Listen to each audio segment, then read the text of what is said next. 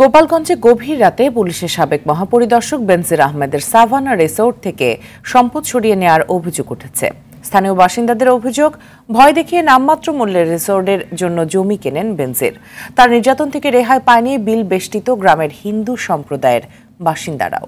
গোপালগঞ্জ প্রতিনিধি আবদুল্লাহ আল মামুনের প্রতিবেদন জানাচ্ছেন সৈয়দ মাহমুদ। নগদে পাঁচশো টাকা বা তার বেশি পেমেন্টে পেতে পারেন ঢাকায় জমিসহ বিশ কোটি টাকার পুরস্কার। হিন্দু অধ্যুষিত গোপালগঞ্জের শাহাপুর ইউনিয়ন। এখানকার বৈরাগী টোল গ্রামের বাসিন্দা বিপ্লব বল। কয়েক বছর আগেও তার একটি বড় পুকুর ছিল।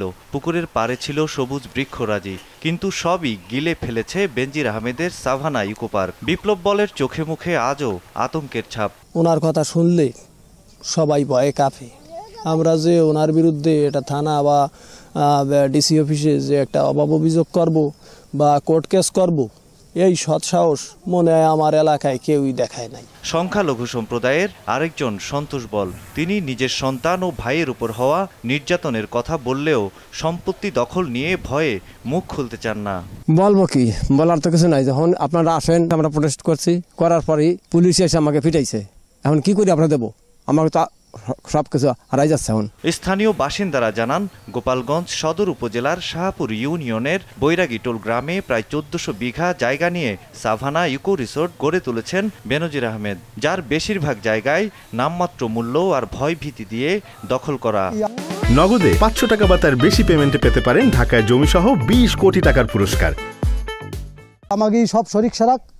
এই যে গেটটা দেশে এলজিডির রাস্তা। স্থানীয়দের উপর লাঠিচার্জ করে তাদের মুখ বন্ধ রাখার প্রচেষ্টা চালাচ্ছে। এলাকাবাসী তো আতঙ্কিত। এখানকার বাসিন্দারা জানান আদালতের দেয়া সম্পত্তি জব্দের নির্দেশের পর রাতের আধারে বেনজির আহমেদের লোকজন মালামাল সরিয়ে ফেলেছে। সেদিনকার রাত্রে ওনারা অনেকজনে আইসা ওনারা লুটপাট করে নিয়ে গেছে।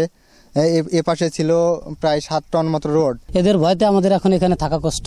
যে কোনো মুহূর্তে আমাদের মারতে পারে আমাদের প্রতিনিয়ত হুমকি দিয়ে যায়। সাভানা পার্কের গেট তৈরিতে আড়াইশো মিটার সরকারি রাস্তা দখলের অভিযোগও রয়েছে বেনজির আহমেদের বিরুদ্ধে। দুইশো আড়াইশো মিটার হবে তার সামনে একটা গেট নির্মাণ করা হয়েছে যেটা আগে এই গেটের কোনো অস্তিত্ব ছিল না। এটা এখন পার্কের ভিতরে যাওয়াতে লোকজনের অবাধ চলাচল বন্ধ হয়ে গেছে। তবে জনস্বার্থে দ্রুতই রাস্তাটি উন্মুক্ত করে দেওয়ার কথা জানান গোপালগঞ্জের জেলা প্রশাসক। আমরা বিষয়টি তদন্ত করে এলজিডির সাথে আলাপ করে আদালতের অনুমতি নিয়ে এই রাস্তাটি উন্মুক্ত করার ব্যবস্থা নিব। Syed Mahmud R TV.